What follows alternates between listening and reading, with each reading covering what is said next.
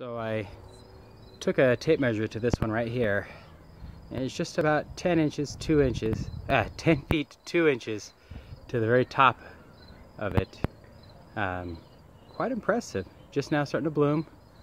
So we'll see. It's definitely the tallest one I have of all of them I don't know if you can see this one right here very well but it's definitely leaning over if it weren't for the trellis it would have completely fallen. This one tried to fall all the way over and I now have it strung up. You can kind of see that string right there.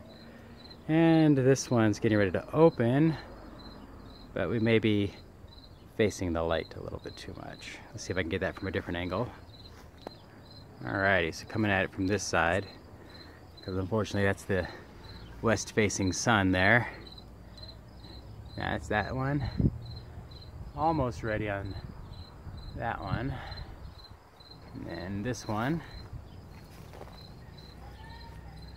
So pretty as they open.